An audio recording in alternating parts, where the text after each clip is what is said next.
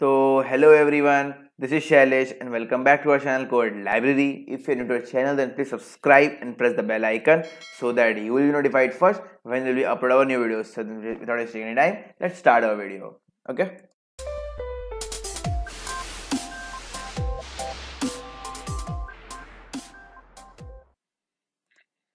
तो आज हम लोग बात करने वाले question painting the fence problem okay तो ये बहुत इंपॉर्टेंट क्वेश्चन है तो फटाफट बताते हैं कैसे करना है इसे।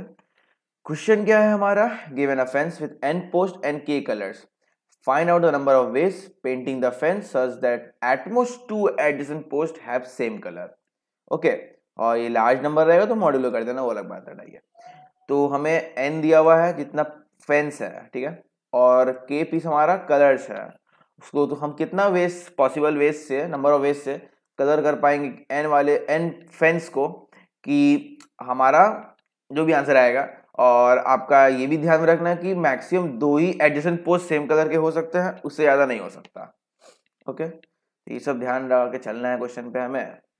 तो आपको शुरू से बताता हूँ। पहले मान के चलते क्या कि हमारे पास एक फेंस है, ठीक है? येलो कलर का एक फेंस है। ओके मतलब एन हमारा क्या है? वन है। और के कुछ भी हमारा है के कलर्स तो आप इसको कितने वे से कलर कर पाओगे आप? ऑफ़ कोर्स यहाँ सेम क्राइटेरिया तो कुछ होगा नहीं क्योंकि सेम रहने के लिए एटलीस्ट आप एटमोस्ट मतलब कितना आपका दो होना चाहिए फैंस मतलब सेम कलर रखने के लिए। यहाँ दो रखना दो होगा ना एटलीस्ट क्या सेम कलर के लिए। बट यहाँ कुछ यहाँ तो पहले से ही वन दिया हुआ है तो सेम का कोई केस नहीं आता। है तो सिंपली आप यहाँ पर डिफर कर पाओगे केस तो इसमें क्या करोगे आप? सिंपली क्या होगा जितना के कलर्स है सबसे कलर कर दो एक एक बार करके इसको क्या? है कि नहीं? सिंपली एक, एक बार के पीस के बार कलर लगा दो इस पर तो क्या मतलब हुआ? हम लोग एन वन लिए हैं तो कितना हुआ यहाँ पर? कितने पॉसिबिलिटी से कलर हो पा रहा है? के पॉसिबिलिटी से कलर हो पा रहा है। मतलब एन इक्वल्स टू वन के लिए एन इक्वल्स टू वन के लिए क्या हो रहा है हमारा? कहा गया?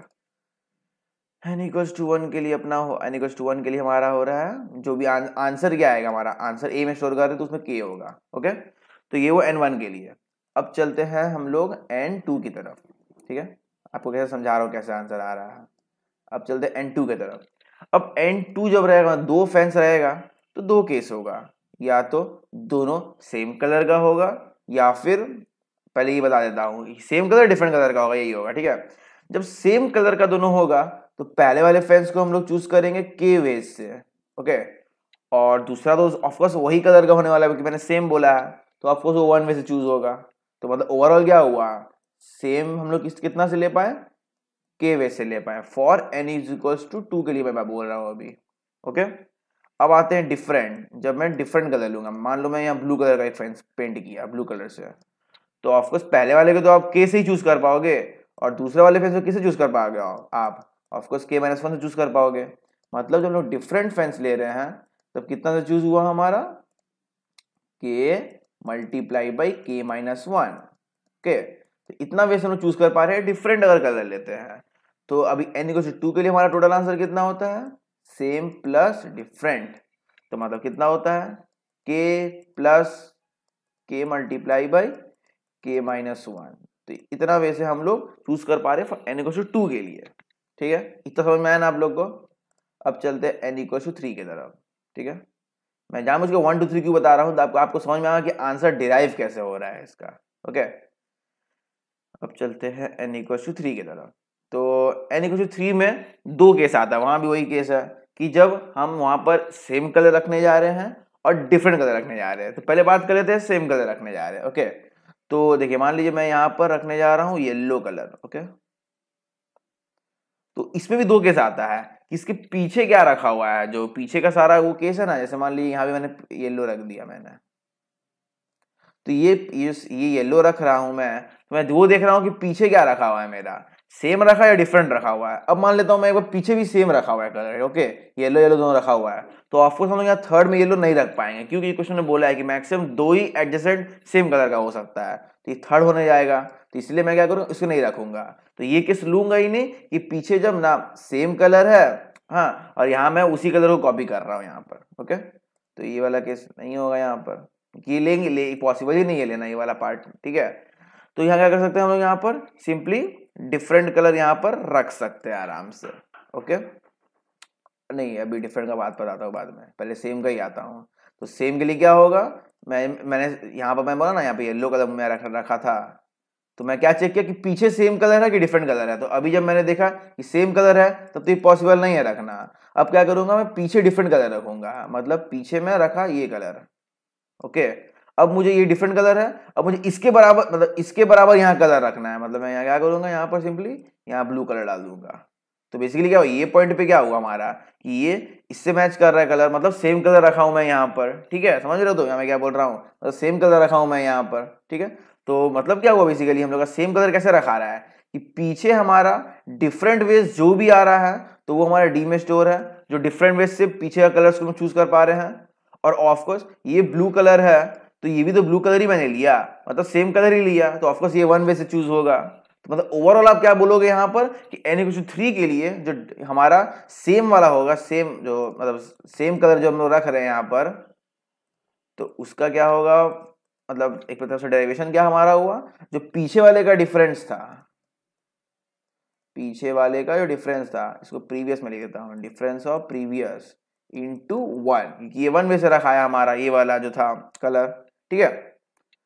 अब अब ये अब ये सेम वाला काम खत्म। अब आते हैं डिफरेंट वाले पे आते हैं, ठीक है? तो डिफरेंट का दो केस है। अभी ये दोनों सेम पड़ा हुआ है पीछे का, ठीक है? दोनों सेम पड़ा हुआ है। अब मेरे को थर्ड का डिफरेंट रखना है। तो ये पहले बोल के चले ना डिफरेंट चाहिए मुझे तो मैं ये डिफरेंट पे आता हूँ, ठीक है? तो ऑफकोर्स पीछे वाला केस क्या है? वो जो प्रीवियस का सेम है, उससे ऑफकोर्स उसका आ गया होगा नंबर ऑफ़ वेस की वो दोनों सेम कैसे रखा गया है। और ऑफकोर्स हम जब ये वाला रखेंगे डिफरेंट तो क्या कितना हमारा हमारा ये होगा वेस ऑफकोर्स हमको सिर्फ़ येलो यहाँ नहीं रखना है, बाकी लोग सब कलर रख सकते हैं। मतलब के माइनस वन वेस से चूज़ कर सकते हैं आराम से, सिर्फ़ येलो को छोड़ के। तो ये वाला कितना से चूज़ हुआ? के माइनस वन वेस से। तो बेसिकली यहाँ पर क्या आ रहा है हमारा? इसका मतलब डिफरेंट का क्या आंसर है? करेंट वाले का डिफरेंट का आंसर मैं बोल रहा हूँ। जो पीछे वाले का सेम था इंटू के माइनस वन ओके प्लस अब और एक केस आएगा। क्या मैंने बोला कि ये दोनों सेम था, तब जाके मैंने यहाँ डिफरेंट रखा। अब मैं क्या बोलता हूँ कि ये दोनों डिफरेंट है मतलब यहाँ पहले से ये एक ब्लू कलर है। ठीक है? और मैं थर्ड में तो डिफरेंट रखूँगा ये मैंने बोला है पहले से। थर्ड में डिफरेंट कलर रखा अब, ठीक है? तो अब इसकी, ये करंट कलर के पहले का कलर कितना वैसे चूज़ हो रहा था हमारा? जो नंबर ऑफ़ वेस्ट है इसका ऑफकोर्स जो प्रीवियस का डिफरेंस डिफ में स्टोर था हमारा, वो हमारा हो रहा था क्या? कि मतलब नंबर ऑफ़ वेज कि वो डिफरेंट हो रहा है, पीछे वाला हमारा, ठीक है? अब हमको करंट भी डिफरेंट चाहिए। तो ऑफकोर्स क्या करना है आपको? सिर्फ़ ये ब्लू नहीं रखना है। उसको छोड़ के आप कोई भी कलर यहाँ रख सकते हो, ठीक है? तो वही मतलब वो ये भी आप के माइनस वन वे से ही चूज़ कर पाओगे। क्योंकि आपको सिर्फ़ ब्लू नहीं चूज़ करना है। के में से सिर्फ़ ब्लू चूज़ नहीं करना, बाकी सब कुछ चूज़ कर पाओगे आप। तो के माइनस वन वे से होगा। तो इसीलिए मैं यहाँ पर प्लस एक्स्ट्रा क्या कर रहा हूँ मैं? जो पीछे का डिफरेंस था इंटू के माइनस वन तो बेसिकली हमारा डिफरेंस कितना हो जाता है करंट वाले का? सम प्लस डिफरेंस प्रीवियस वाले का into K minus one okay और सेम तो मैंने बता दिया सेम सिंपली क्या हो गया? डिफरेंस प्रीवियस वाले का इंटू वन समझ में आया तो आप लोग को? बस यही था हमारा प्रॉपर्टी बस और कुछ नहीं था। इतना ही करना था क्वेश्चन पे। और इसी तरह आप बस चलते जाओ चलते जाओ, आगे चलते जाओ, जितना एन बोलेगा क्वेश्चन में बस निकालते जाओ बस, और कुछ नहीं करना है हमें ओके तो कोड पे आते हैं तो कोड पे सिंपल सा कोड एकदम लिखा हुआ है यहाँ पर तो मैं यहाँ क्वेश्चन में मॉडलेस करने बोला, मैं मॉडल ले लिया हूँ एक ओके बेस केस दो है, अगर मेरा एन ज़ीरो है ओके एन अगर ज़ीरो मतलब क्या हुआ? एक भी फेंस नहीं है, तब तो आंसर ज़ीरो रिटर्न करूँगा। एन वन है, एक फेंस है। तो मैंने आपको बताया, जो एन वन था हमारा तो उसके लिए सिर्फ़ के आ रहा था हमारा answer number of ways simply K done कर दिया। अब मैं दो एन इक्व टू के लिए लेके चल लूँगा और फिर थ्री से आंसर निकालूँगा आगे, ठीक है? अब क्या हुआ? मान लीजिए आप सोचोगे कि मैं एन टू लेके चल रहा हूँ और क्वेश्चन में टू ही देता तो ये लूप नहीं चलेगा। फिर नीचे मैं सेम प्लस डिफरेंस प्रिंट कर दूँगा नंबर ऑफ़ वेज ओके तो पहले सेम में क्या लेके चला? एन इक्व टू का सेम क्या था हमारा? के और यहाँ मॉड लगा दे रहा हूँ सब जगह, ठीक है? ध्यान रखिएगा, सब जगह मैं मॉड लगा रहा हूँ, बोलूँगा नहीं बार बार ठीक है? अब डिफ पे आ रहा हूँ तो एनिवर्सी टू के लिए डिफरेंस क्या था हमारा? पहला फेंस चूज़ करेंगे के वेस से, दूसरा फेंस चूज़ करेंगे के माइनस वन वेस से तो के इंटू के माइनस वन हुआ डिफरेंस ठीक है? मतलब डिफरेंट फेंस चूज़ किया हूँ मैं एनिवर्सी टू के लिए तो ये एनिवर्सी टू के लिए मैं सेम और डिफरेंस लेकर चल दिया क्योंकि तब एनिवर्सी थ्री से निकालेंगे आंसर तो ये टू वाला हमारा हेल्प करने वाला है इसीलिए, ठीक है? अब लोग चलाएँगे थ्री से एन तक अब हम लोग क्या करेंगे प्रीवियस में डिफ स्टोर करके रख लेंगे, क्योंकि वो हमारा चेंज हो जाएगा ना फिर इसीलिए, ठीक है? तो अब मैं डिफरेंस में क्या स्टोर करूँगा? मैंने क्या बोला डिफरेंस पे? क्या स्टोर होगा हमारा डिफरेंस पे? सेम प्लस डिफ पुराने वाले का इंटू के माइनस वन सिंपली वही कर दूँगा सिंपली एकदम। सेम प्लस डिफ आपका पुराने वाले का ही है इंटू के माइनस वन और फिर मॉड लगा दिया, ठीक है? अब आप सोचोगे, इसलिए मैंने प्रीवियस में स्टोर करके रखा था डिफ क्योंकि देखिए यहाँ डिफ चेंज हो गया है, ठीक है? कि वो मेरे को सेम में डालना है ना? ऐसा जो ये सेम वाला था सेम में मैंने क्या बोला था? कि जो पुराना डिफ है, उसमें इंटू वन कर देना अब इंटू वन करो ना, करो बराबर मतलब क्या सिर्फ़ पीछे का पहले वाले का डिफ लेना है आपको सेम करंट का सेम सेम के लिए। तो करंट का सेम के लिए क्या करना आपको प्रीवियस वाले का डिफ लेना है डिफ लेना है। तो डिफ तो चेंज हो गया था, इसलिए मैंने स्टोर करके रख लिया पहले प्रीवियस में। तो प्रीवियस बेसिकली वो प्रीवियस वाले का डिफ है ओके तो मैंने सेम में डाल दिया और मॉड कर दिया। बस, ये करते करते करते करते लूप खत्म हो चुका हमारा। और रिटर्न कर दिया। सेम प्लस डिफ क्योंकि क्वेश्चन में टोटल नंबर वेज बोला, है ना? तो सेम रखने से जो पॉसिबल वेज है डिफरेंस रखने से जो पॉसिबल वेज है सिंपली सेम प्लस डिफ किया मैंने और मॉड मॉड लगा दिया। रिटर्न कर दिया। बस इतना ही करना था इसमें।